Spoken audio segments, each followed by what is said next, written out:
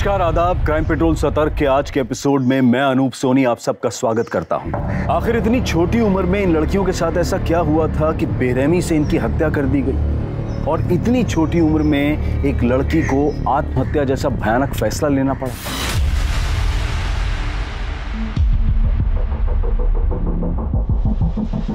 बोलो गणपति बप्पा। मोरिया। अरे ताई जी।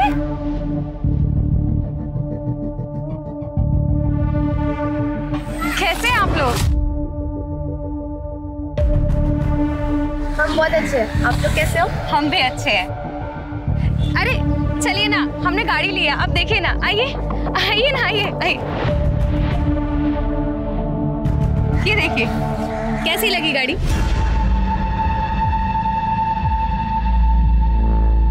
अरे शिल्पी तू कैसी है? तेरी पढ़ाई कैसी चल रही है? शायद तू टेंथ क्लास में होगी ना? नहीं इलेवेंथ में थी। पर पापा ने बीच में ही स्कूल छुड़वा दिया। अरे सुरेखा तुम्हारा कुर्ता तो बहुत अच्छा लग रहा है। कितने का है? महँगा होगा ना? अरे नहीं नहीं सिर्फ़ दो हज़ार का है। लेकिन तुझे क्या हुआ है? तू क्यों इतनी वीक दिख रही है? पिछली बार से ज़्यादा कमज़ोर दिख रही है। ये जो चर्बी आई है ना ये दो नंबर की कमाई से निकलती है। तेरी तरह थोड़ी है काली कमाई की गाड़ी लेके मंदिर में दिखावा कर रहा है। काले दिल के लोग मंदिर में आके झूठा पूजा पाठ का दिखावा कर सकते हैं। तो मैं अपनी गाड़ी क्यों नहीं ला सकता? भाई साहब इसको तरक्की कहते हैं। जलन हो रही है आपको। तरक्की नहीं हराम की कमाई है ये। और ऐसी तरक्की पे मैं थूकता भी नहीं है जो बड़े भाई से बात करने का तरीका ना है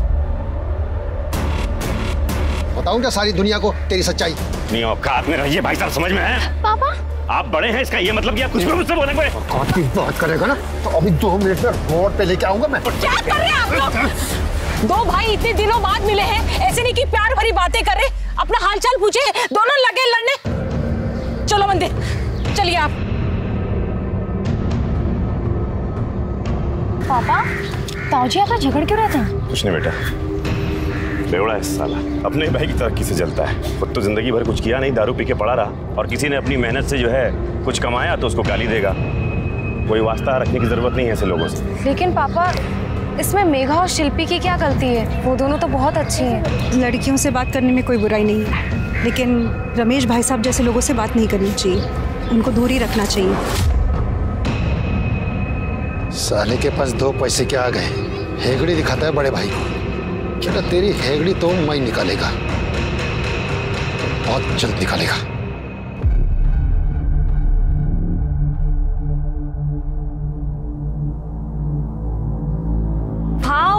क्या डिज़ाइन बनाया है तूने? यार तू तो बिना डिग्री की फ़ैशन डिज़ाइनर है। अ, आज तो राहिल की गर्दन कंफर्म टूट जाएगी। बात उधर कर रहा है और देख तुझे रहा है।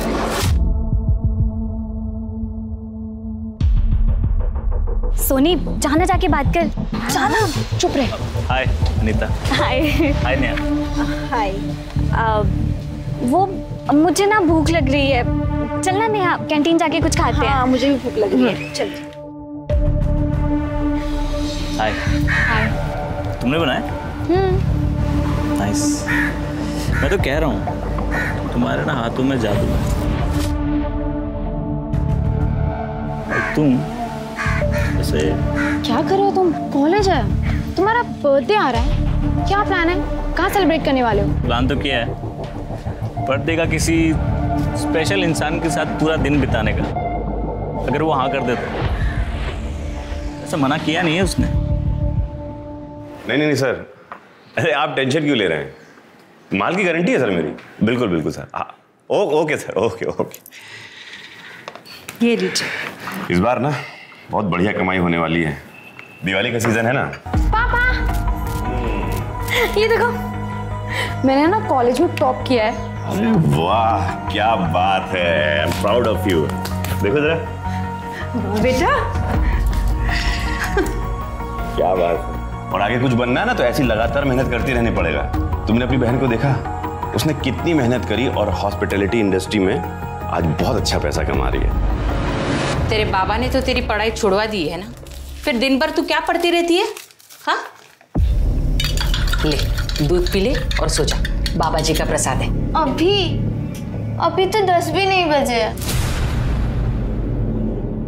और रोज मुझे ही क्यों दूध पी के सुला देती हो? दीदी को तो कभी नहीं कहा। जब देखो मेरे ही पीछे पड़ी रहती हो। अम्माओं की तरह बातें करना बंद कर। दूध पी और सो जा। और बच्चों को ना जल्दी सोना चाहिए। जब तू दीदी की तरह बड़ी हो जाएगी ना तब तुझे भी नहीं कहूँगी जल्दी सोने के लिए। सो जाऊँगी। पर एक शर्त पर मुझे भी सोनी दीदी की तरह स्कूल और कॉलेज जाना है। तुझे कितनी बार समझाया है? उन लोगों के बारे में बात भी मत कर। अगर तेरे पापा ने सुन लिया ना तो अभी चिल्लाना शुरू कर देंगे। चल दूध पी ले और सो जा।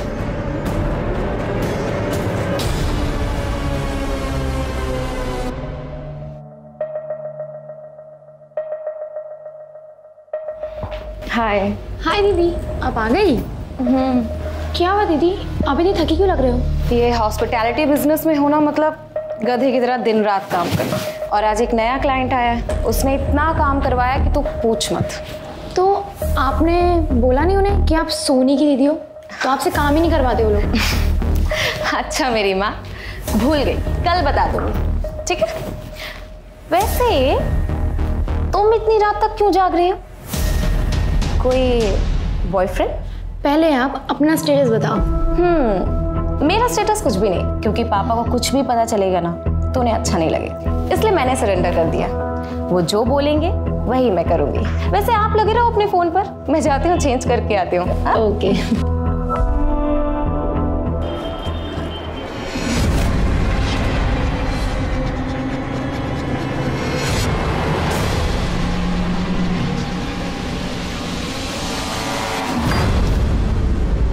अबे तू इसकी गारंटी ले रहा है। जो मरगिल्ली सी दिख रही है। अरे किस्तों में साँसें ले रही मुझे क्या खुश करेगी? इसके पाँच हज़ार क्या? पाँच रुपए भी नहीं दूँगा। अगर तू पैसे देकर भी कहेगा ले जाने के लिए ना तो भी नहीं लेकर जाऊँगा। चल निकाल निकाल मेरे पैसे। अरे आ, आप आप देखिए ना देखिए ठीक से। ठीक से देखिए। कितनी सुंदर लग रही है। अरे नहीं भाई नहीं नहीं नहीं चाहिए मुझे। पैसे दे पैसे दे मेरे। ये पसंद नहीं आई तो कोई बात नहीं। इसे देखो। पुराने दारू का नशा देती है ये।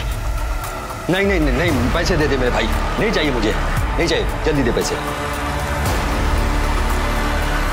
जल्दी कर जल्दी कर। जल्दी कर ना और हाँ आइंदा फ़ोन मत करना। पूरा मूड खराब कर दिया।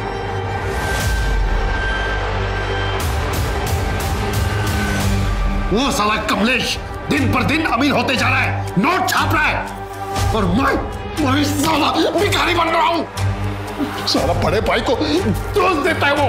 दिखाता है बड़े भाई को।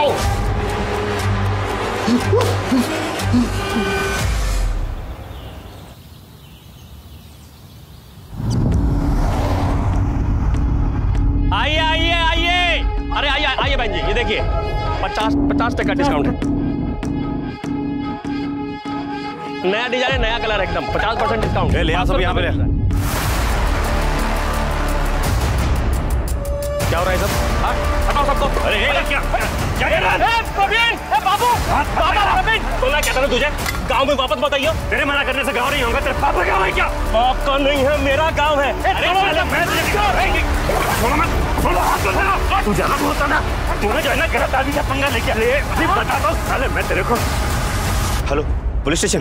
क्यों बे? बाहुबली है तू। क्योंकि ये तोड़फोड़ और तुम लोग इस तोड़फोड़ में इसका साथ दे रहे थे?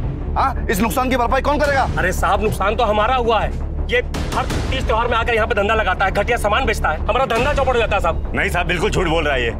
मुझे अपने गाँव वालों की चिंता है इसलिए मैं ये काम करता हूँ। और मैं जो हूँ शहर से अच्छा सामान लाके यहाँ पे सस्ते में बेचता हूँ। यही दिक्कत है ना सर तेरी? हाँ दिक्कत है। जब गाँव छोड़ के चले गए तो वापस बार बार आके जाते हो। लो ये कौन सी बात हुई? तुमसे पूछ के मुझे इस गाँव में आना पड़ेगा।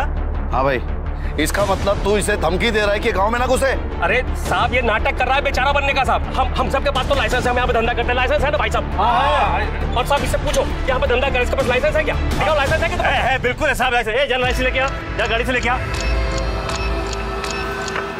ये देख लाइसेंस साहब देखिए लाइसेंस अब इसने लाइसेंस भी दिखा दिया। वैसे तू कौन होता है लाइसेंस पूछने वाला हाँ? चुपचाप यहाँ पे धंधा कर। कहीं ऐसा ना हो कि तेरा लाइसेंस कैंसिल हो जाए। चल निकल यहाँ से।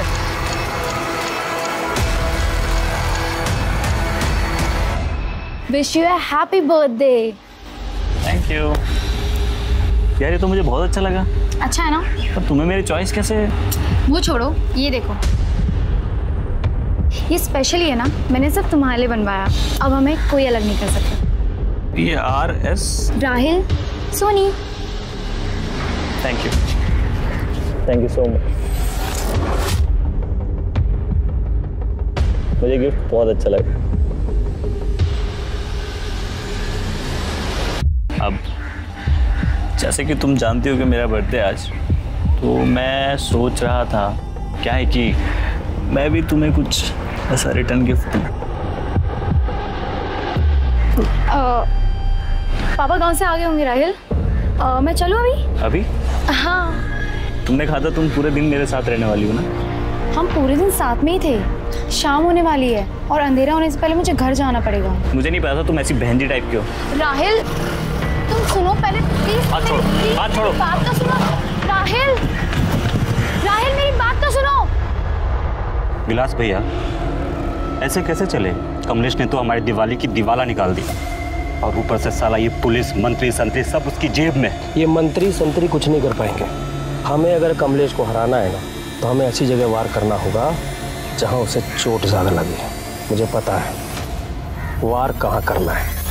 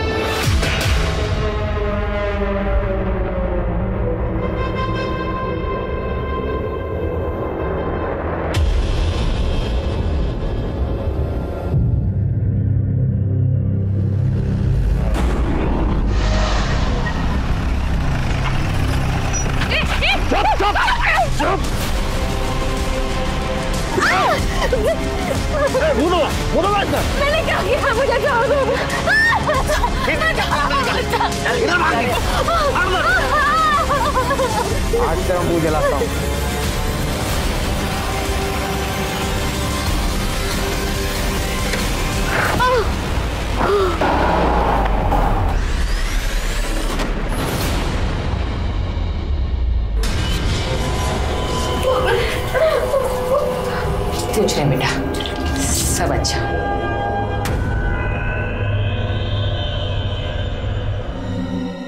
प्लीज़ ऐसा मत करो मम्मी। नहीं करना मुझे। प्लीज़ ये रोना धोना बंद कर दे अभी। पहला कस्टमर ना। नाराज़ नहीं होना चाहिए। अब शगुन होता है। इसलिए उन्होंने बड़ी रकम दी है तेरे पापा को। पहला कस्टमर अगर नाराज़ हो गए ना तो तेरे पापा तुझे जान से मार देंगे।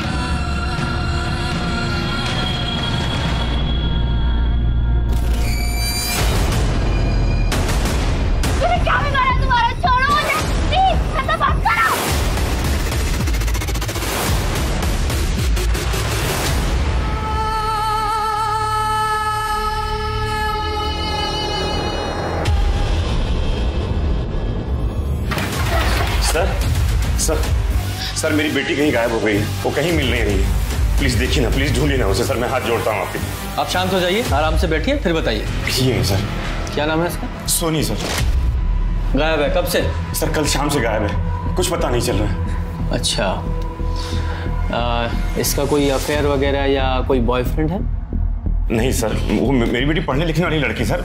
ऐसी कोई बात नहीं है। आपको किसी पर शक है जो उसे गायब कर दे या उसे नुकसान पहुँचा दे ऐसा कोई आदमी? हाँ सर हैं, सर, दो लोग हैं। उन पे शक है, सर, मुझे। हाँ। सर, एक विलास है। मेरी गाँव मांडोपुर का है। सर, पता नहीं क्यों चिढ़ता रहता है मुझसे। मैं जब कभी गाँव की मार्केट में अपनी दुकान लगाने जाता हूँ तो सर, वो मेरी दुकान हटा देता है। मारपीट करता है मुझसे। सर, इस बार तो उसने हद कर दी। तो मुझे पुलिस तक को बुलाना पड़ा। अभी कुछ दिन पहले मेरी बड़ी बेटी है, सुरेखा। वो अपने काम से वापस आ रही थी तो उस कमीने ने उसके साथ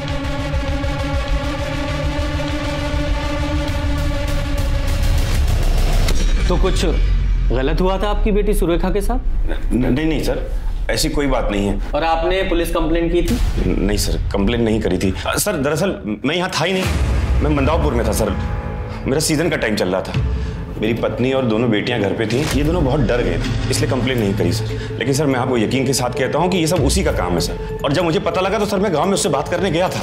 विलास बड़ा मर्द बना फिरता है। तेरी हिम्मत कैसे हुई? यही है तेरी मर्दानगी। मेरी बेटी पे हमला करवाया तूने। बहुत गलत किया तूने।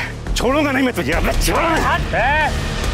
इतना बबल गा रहा है बे? कोई सबूत है तेरे पास ये सब मैंने किया है? नहीं ना?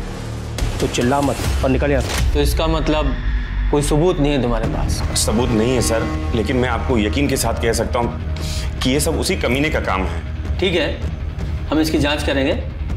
लेकिन ये हुआ कब था? सर ये सोनी के गायब होने से कुछ दिन पहले। और वो दूसरा आदमी कौन है जिसका आपको शक है? गणेश मंदावपुर गाँव में हमारा पड़ोसी था।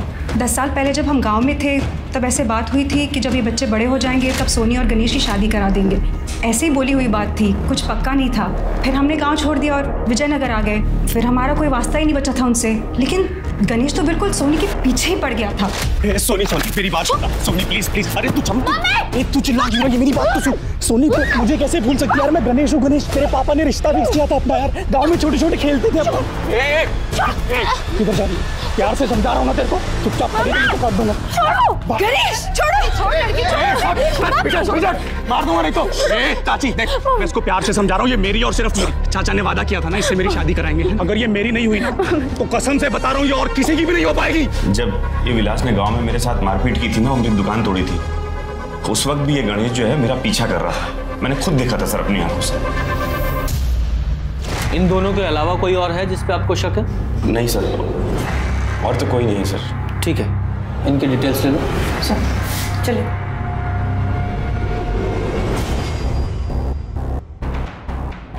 मिश्रा इस फैमिली की बैकग्राउंड चेक करो। यहाँ विजयनगर में भी और इनके गाँव में भी। सोनी की सीडीआर रिपोर्ट निकालो कॉलेज में उसके दोस्तों से पूछताछ करो और इनकी दूसरी बेटी सुरेखा उस पर जो अटैक हुआ था उसके बारे में भी पता करो। जी सर। और ये विलास और गणेश जरा इनका एंगल भी चेक करो। जी सर।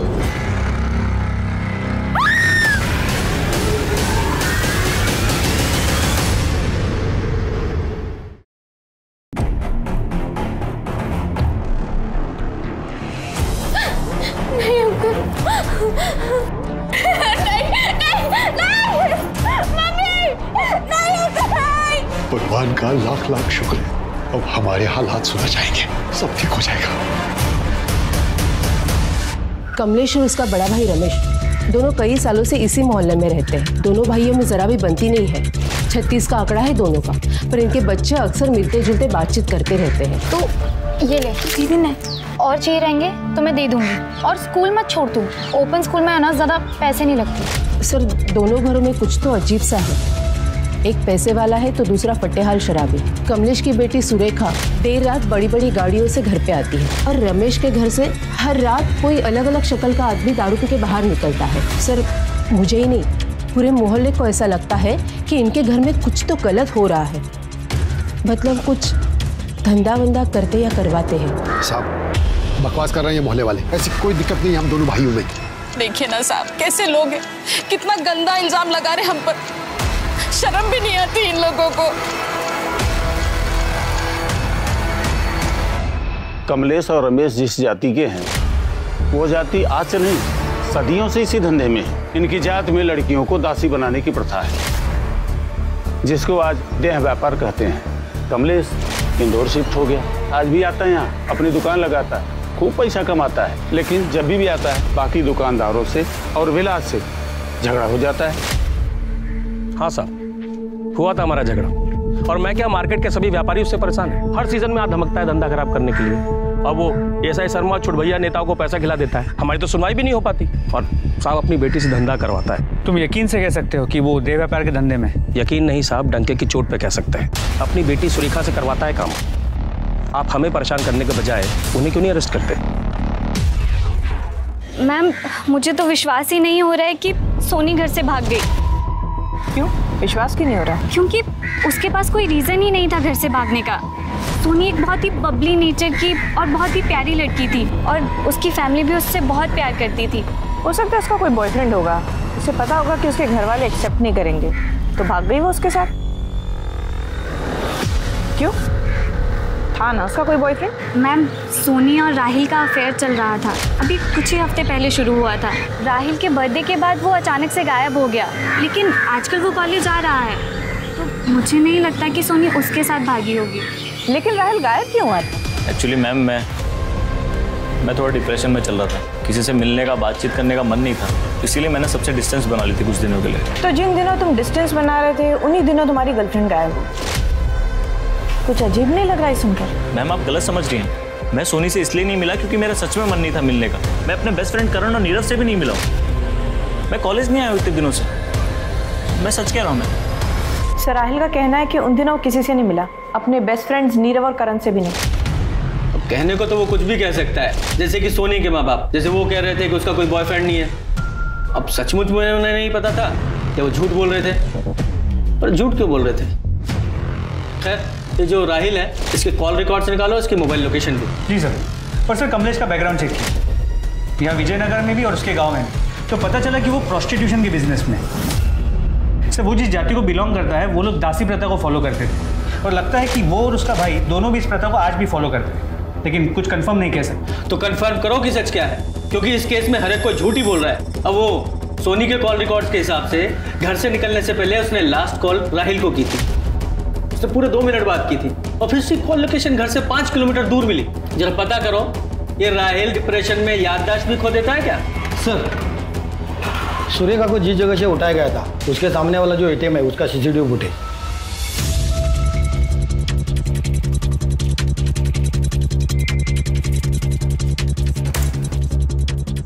ये आदमियों के चेहरे तो दिखाई नहीं दे रहे हैं कपड़ा बांधा हुआ है। ये देखो गाड़ी की नंबर प्लेट दिखाई दे रही है। इसके मालिक का पता लगाओ। जी सर। सर विजयनगर के बाहरी इलाके में एक डेड बॉडी मिली। है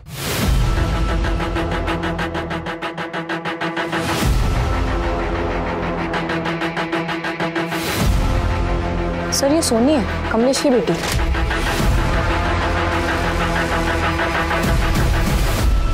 बॉडी जरा खराब हालत में है लेकिन चेहरा तो साफ़ पहचान में आ रहा है। हम्म। और बॉडी की हालत देखकर लग रहा है कि इसकी मौत तीन चार दिन पहले ही हो चुकी है। सर इसके गले पे मार के लगता है गला दबाया गया है। कंफर्म मर्डर केस है। सर पूरा एरिया चेक किया पर कोई एविडेंस या कोई क्लू नहीं मिला। हाँ। बॉडी को पोस्टमार्टम के लिए भेजो और इसकी फैमिली को इन्फॉर्म करो। सर सोनी के कपड़ों और प्राइवेट पार्ट्स पर। कई लोगों के सीमेंट सैंपल मिले हैं। तुमने ही कस्टमर के पास भेजा था ना उसे? सर आप हम पे ये बहुत घटिया इल्ज़ाम लगा रहे हैं। ये इल्ज़ाम नहीं लगा रहे हैं। ये जानकारी दी है तुम्हारे पड़ोसियों ने और तुम्हारे गाँव वालों ने। तुम्हारे यहाँ देह व्यापार की प्रथा है और उसी प्रथा को आगे बढ़ाने के लिए तुम सोनी पर दबाव डाल रहे थे। उसने इनकार कर दिया। तो मार दिया उसे? हमने अभी अभी अपनी बेटी खोई है। आप उसके कातिल को पकड़ने की बजाय हम पे घटिया इल्ज़ाम लगा रहे हैं। अरे मानता हूँ कि हमारे बाप दादा ये धंधा करते थे, लेकिन मजबूरी थी उनकी। गाँव वाले ना किसी को पढ़ने लिखने देते थे, ना कोई और काम करने देते थे। सर, इसी दलदल से बचने के लिए मैं अपनी बेटी को लेकर शहर गया था कि वो पढ़े लिखे और इस दलदल में न फंसे तो तुम्हारा कहना ये है कि तुम ये धंधा नहीं करते। तो एक बात बताओगे? सुंदर नगर में तुमने एक बंगला किराए पर लिया हुआ है। वहाँ तुम्हारी बेटी से मिलने सिर्फ़ मर्द लोग आते हैं। ऐसा क्यों? एक्सप्लेन करोगी? ये कैसी बात कर रहे हैं सर आप? ग्रेजुएट है मेरी बेटी। हॉस्पिटैलिटी बिज़नेस में सर ये अपना ऑफ़िस चला सके इसलिए हमने वो बंगलो लिया था बस इतनी सी बात है। और सर अगर हमें ये प्रथा चलानी होती धंधा चलाना होता तो मैं अपने बच्चों को लेकर शहर क्यों आता? उन पे इतना पैसा क्यों खर्च करता? रमेश भाई साहब की तरह प्रथा को आगे बढ़ाता ना? ठीक है। फ़िलहाल जा सकते हो लेकिन शहर छोड़कर नहीं जाना। ज़रूरत पड़ी तो दोबारा बुलाएँगे। सर इतनी आसानी से जाने क्यों दिए मिश्रा इनके खिलाफ हमारे पास कोई ठोस सबूत नहीं है। सिर्फ़ लोगों द्वारा दी गई जानकारी के आधार पर इन्हें यहाँ नहीं रख सकते थे। फिर भी इन पर नज़र रखना। और वो राहिल उसे लेकर आओ।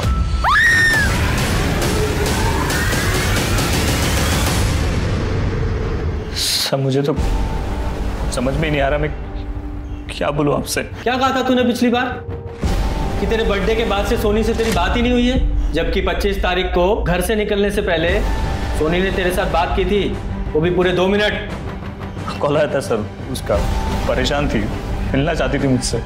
पर मैं अपने दोस्तों के साथ पढ़ाई कर रहा था तो मैंने उससे मिलने से मना कर दिया। अच्छा दोस्तों के साथ पढ़ाई? कौन दोस्त? करण और नीरव।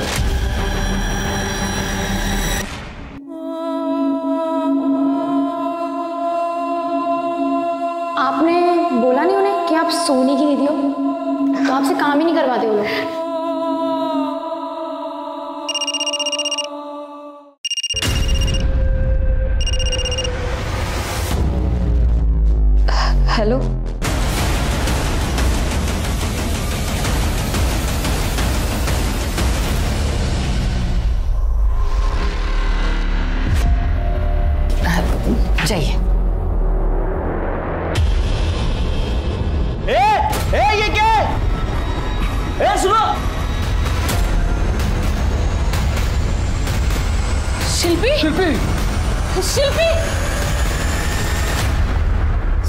के मारा गया। ये देखिए, गला घुटने के निशान।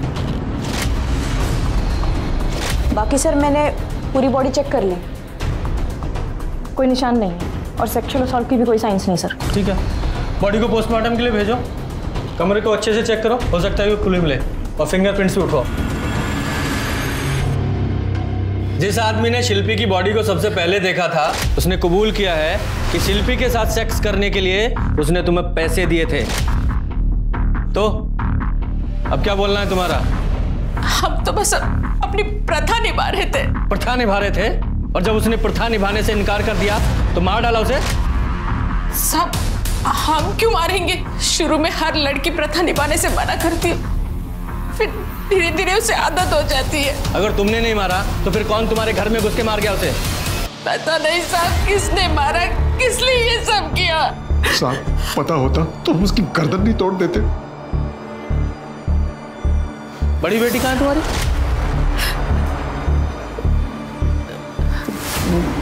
मेघा वो अचानक से बाहर गई अभी। बोल लगाओ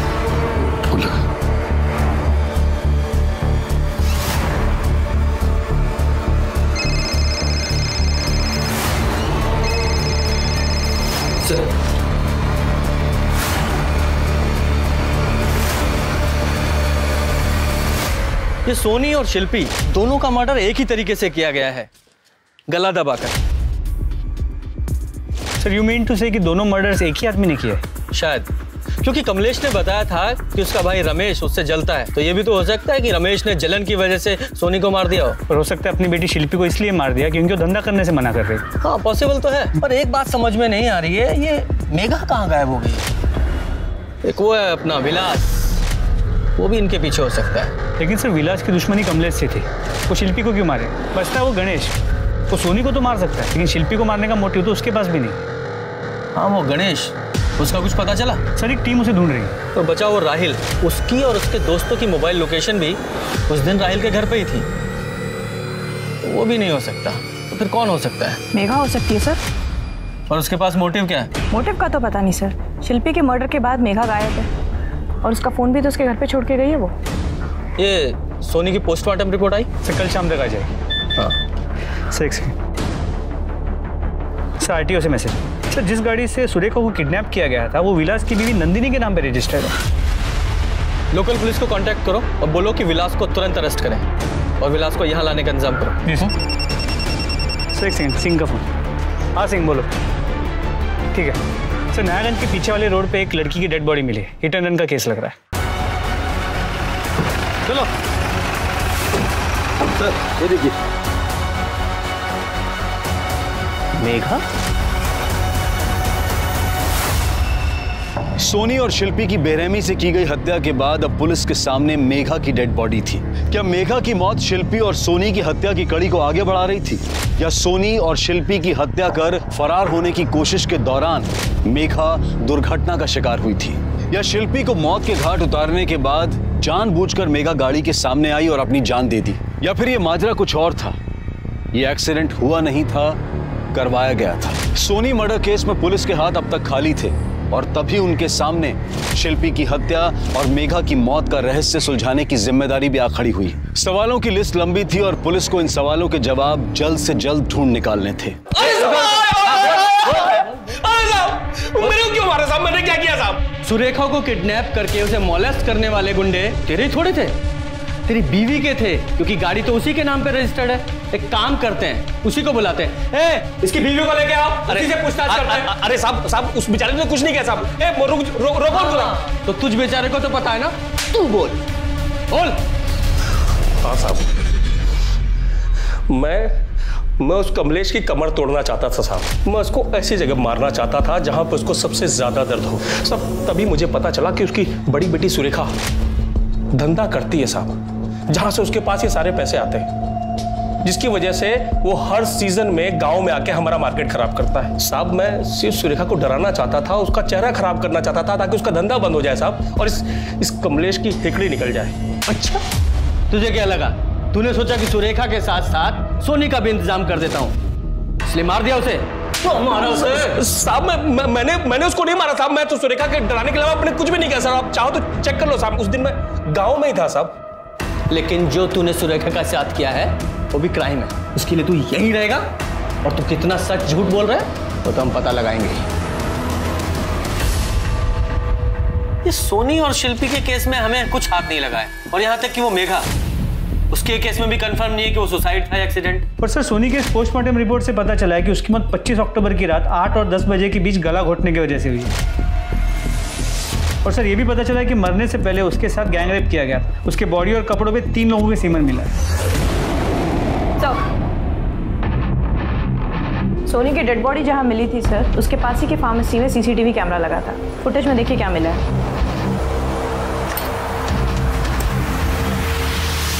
उठाओ इन्हें देखा? अब बोल। और सच बोलना तीनों में से एक ने भी झूठ बोला। तीनों की हड्डियाँ टूटेंगी। बोलो। कॉल आया था सर उसका। उस रात रो रो रही थी बहुत। कह रही थी कि उसके घर वाले उसे ज़बरदस्ती प्रोस्टिट्यूशन में डालना चाहते हैं। उसने कहा कि उस दिन उसके लिए कोई कोई उसका फ़र्स्ट कस्टमर आने वाला है। वो घर से भागना चाहती थी सर इसलिए मैंने उसे मिलने के लिए पार्क में बुलाया। ये ये करण और नीरव भी गए थे मेरे साथ और वहीं वहीं पे थे ये लोग। और तुम तीनों ने अपने फ़ोन घर पे ही छोड़ दिए। छोड़ा छोड़ा नहीं सर छूट गया होगा सर। हम हम लोग अक्सर पढ़ाई करते हुए फ़ोन साइड में रखते हैं। उ- उस दिन भी यही किया था हमने सर। शायद जल्दबाजी में निकलते हुए दिमाग से निकल गया वो। तीनों भूलते भी ग्रुप में ही हो। आप आप गलत समझ रहे हैं सर। मैं सच बोल रहा हूँ आपसे। और जब सोनी ने तुझे बताया कि उसकी फैमिली प्रोस्टिट्यूशन में है तब शौक नहीं लगा तुझे? एक्चुअली सर राहिल का बर्थडे था। हमने उसको गिफ्ट दिया था कि वो किसी प्रॉस्टिट्यूट के साथ अपनी वर्जिनिटी लूज करे। हम एक आदमी से डील भी की थी सर उसने इन्हें सुंदर नगर के किसी बंगलों का एड्रेस दिया जहाँ यहाँ ये लोग मुझे छोड़ के गए वहाँ पे। मैं जब अंदर अंदर गया तो सर मैंने देखा।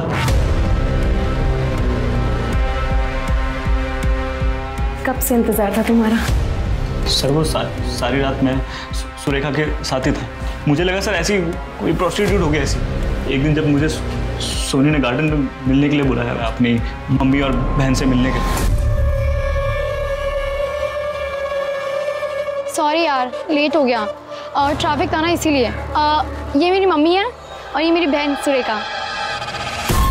उस दिन से सर मैंने सोनी से डिस्टेंस बना लिया सर। ना मैं उससे मिला हूँ ना फ़ोन किया मैंने सर क्योंकि मैं नहीं चाहता था मेरी गर्लफ्रेंड किसी प्रोस्टिट्यूशन फैमिली से इन्वॉल्व हो सर। लेकिन सर जो उस दिन सुरेखा और मे- मेरे बीच हुआ वो मैं भूल नहीं पा रहा था तो मैंने एक प्लान प्लान बनाया। सुरेखा को कॉल करके ब्लैकमेल किया। मेरे साथ फ्री में सेक्स सेक्स नहीं करी तो मैं मैं सोनी को सब सच सच बता दूँगा सोसा- सोसाइटी का डर दिखा के उसके माँ बाप को भी ब्लैकमेल किया। एक दिन जब मैं उसके बाप से उसके घर में पै, पै, पैसे ले रहा था तो पूरे जो बोला है वो ध्यान रखना। राहिल? तुम यहाँ क्या कर रहे हो? पापा आप किस बात के पैसे दे रहे हो उसे? क्या चल रहा है यहाँ पर? ये जो तुम्हारी पूरी फैमिली है ना ये मुझे इन पैसों से तुमसे दूर करना चाहती है। खरीदना चाहती है मुझे। साले तू झूठ बोलता है तू से। इन्हें करने दो जो ये कर रहे हैं। मैं तुमसे प्यार करता हूँ हमेशा करता रहूँगा। साले मैं निकालता हूँ तेरे प्यार का भूत दोबारा तो मेरे घर आया ना? जान से मार दूँगा तुम्हें। दिखा यहाँ से। सोनी से झूठ क्यों बोला तूने? क्योंकि सर मैं मैंने मैं नहीं चाहता था कि उसे उसे पता चले कि मैं उसकी फैमिली को ब्लैकमेल कर रहा हूँ। लेकिन मैंने जब सुरेखा को दोबारा मिलने के लिए बुलाया तो उसने साफ़ साफ़ मना कर दिया। उसने कहा कि उसने सोनी को सब बता दिया और मैं उसे ब्लैकमेल नहीं कर सकता। मेरा फ्री का पैसा और वो फ्री का सेक्स सब सब बंद हो गया तो मैंने दोबारा सोनी को पट, पढ़ाना चालू किया उसे लव, डबी मैसेज भेजे। उसे, उसे ये बोला कि उसके फैमिली वाले उसे बेवकूफ़ बना रहे लेकिन तू सोनी को बेवकूफ़ क्यों बना रहा था? ताकि मैं उसके उसके उसके, साथ साथ भी। और पार्क में क्या हुआ था? उसने घर से पार्क आते आते अपना माइंड बदल दिया। वो राहिल क्या है? मैं नहीं भाग सकती तुम्हारे साथ। मुझमें इतनी हिम्मत नहीं है। समझो प्लीज़ क्या कर सकती हो तुम? ये नहीं कर सकती वो नहीं कर सकती। अरे तुम्हारा दिमाग खराब है क्या? पागल हो क्या तुम? इतना कर सकती हूँ कि मेरी वजह से तुम्हें परेशानी ना हो। इसलिए मैं तुमसे दूर जा रही हूँ। हमारे बीच में जो भी है ना भूल जाओ। हमारा कोई फ्यूचर नहीं हो सकता। मैं तुमसे प्यार करती थी हमेशा करती रहूँगी। वो वो रोते हुए सर वहाँ से भाग गए। मुझे लगा मुझे मुझे क्या सर हम हम सबको ऐसा लगा कि वो घर चले गए। तो, तो हम लोग भी वापस घर आ गए सर और पढ़, पढ़ाई करने लगे। मिश्रा इन तीनों का डीएनए सैंपल लो और सोनी की बॉडी पर मिले सीमेंट सैंपल से मैच कराओ। और तब तक ये कमलेश और फैमिली को देखते हैं।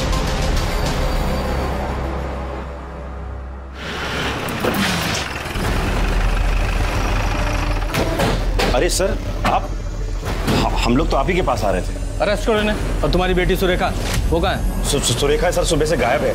उसी की कंप्लेन लिखाने हम लोग आपके पास आ रहे थे। सर सर कुछ नहीं सर मैं सही कह रहा हूँ। सर सर मैं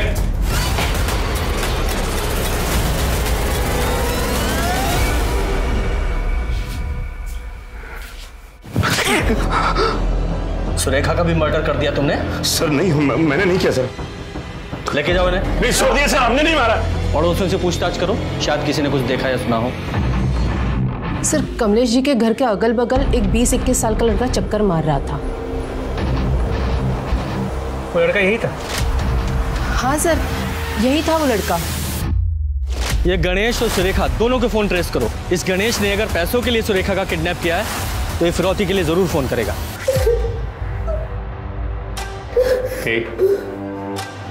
धंधा करती है ना तू?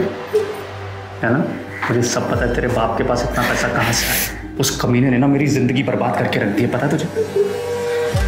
मेरी सोनी मेरी सोनी को भी मुझसे दूर कर दिया। पर अब मैं लूँगा बदला। हाँ सर, सुरेखा को धंधे में हम नहीं डाला था।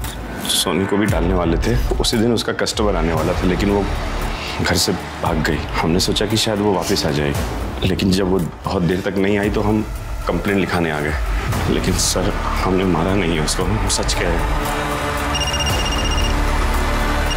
Phone sir.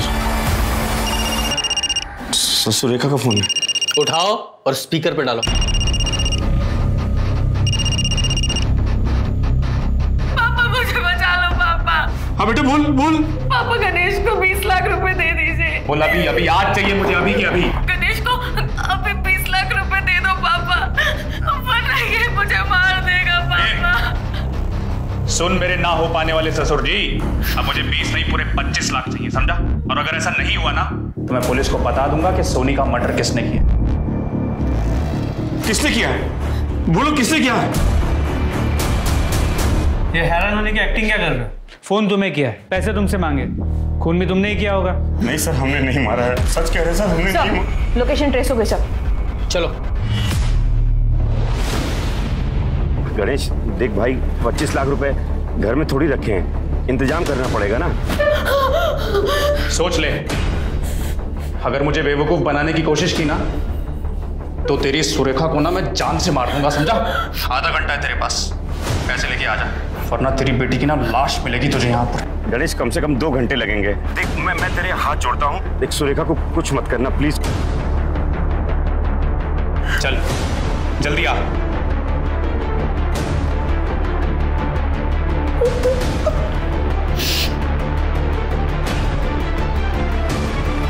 सर लोकेशन यही की।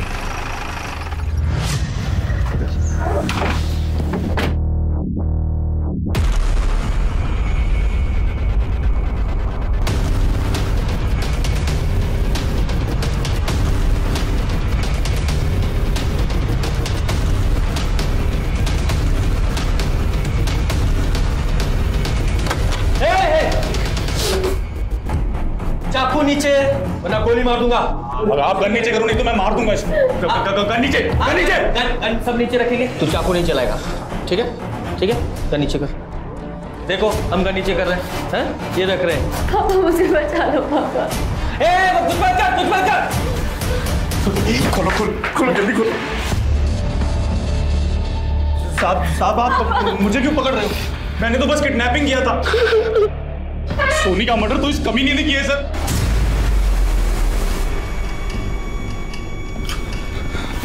क्या सबूत है तुम्हारे पास? सर मेरे मोबाइल में।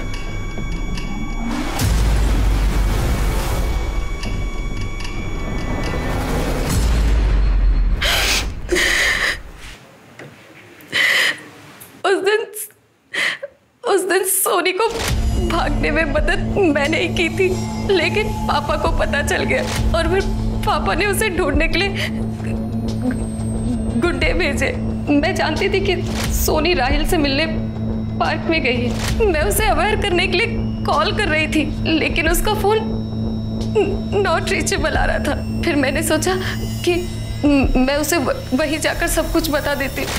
लेकिन मैं मैं पार्क पहुँचने ही वाली थी कि मैंने देखा कि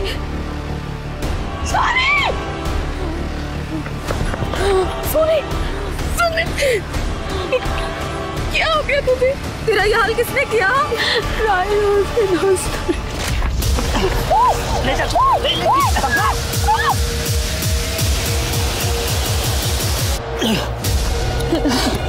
ये बदला है मेरा। तुझसे तेरे बाप से। हाथ उठाया था मुझ पे। इंसल्ट की मेरी।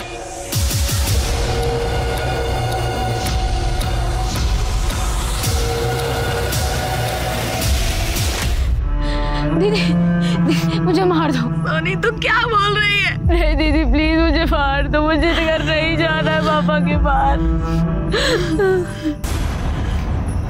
वैसे तू ठीक ही कह रही है। पापा मेरी तरह तेरी भी ज़िंदगी बर्बाद कर देंगे। ऐसी ज़िंदगी से तो अच्छा है कि मर ही जाए। सोनी के कहने पर ही मैंने उसे मुक्ति दी थी। लेकिन उसे मारने का गिल्ट मुझे जीने नहीं दे रहा था। फिर मैंने सोचा कि मुझे मरकर इस गिल्ट से मुक्ति मिलेगी।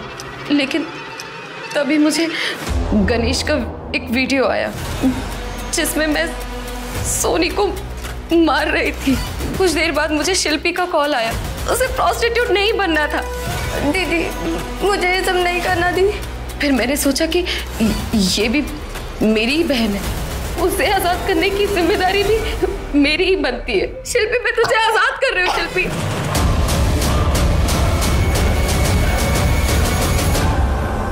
शिल्पी, सुरेखा, तुम? शिल्पी शिल्पी, सुरेखा, रुको। कहाँ भाग रही कहाँ भाग रही तू ना, बहन नहीं है। जल्लाद है, जल्लाद। तू भी ना अपने बाप की तरह हमसे नफरत करती है। नहीं मेघना ये तूने मारा ना। नहीं पुलिस लिए मारा ना। मेघना तू ना मेरे साथ चल मैं पुलिस को सब सच बता। मेघना चल मेघना मेरी बात तो सुना